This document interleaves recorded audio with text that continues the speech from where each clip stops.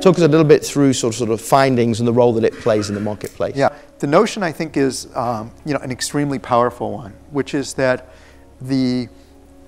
you know given the fact that there is you know increasing amount of research being done, mm-hmm. that you know in many cases there does seem to be some contradictions in the research and just the process of figuring out how to translate this into practice is not uh, is not easy. The the vision here has been to say how does one go through a process of mm-hmm you know, capturing where the sort of state of the art is and making it relevant to, uh, you know, to busy real world people who have to be grappling with this, but also have to be grappling with a lot of other, you know, much more practical mm-hmm. kind of, uh, kind of problems.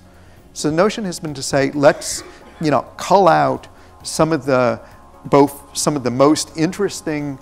new research, which takes just fresh, fresh approaches and has fresh insights,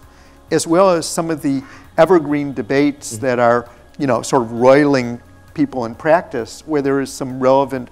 academic insight, and try to juxtapose the kind of problems that practitioners are facing on the one hand with giving uh, kind of clarity to the, uh, to the academic research and trying to you know, distill its essence down, right? You know, as always in these, there's you know, a bit of art in the sense that sure. you know you can easily get lost in the um, you know under the toadstools. Yeah. And we want to clearly have a perspective of seeing the you know seeing the forest in the broad broad sweep of the broad sweep of the issues there. And I think the other thing that's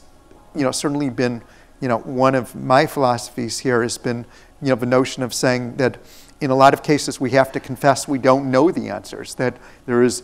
there is evidence pointing in different directions and that you know we have to sort of you know say this is an area where we hope there'll be more work and mm-hmm. hopefully stimulate both um, you know both academics to dig into these areas as well as hopefully uh, practitioners to uh, work with the academics and find um, ways to you know, look at and try to answer some of these uh, remaining open questions.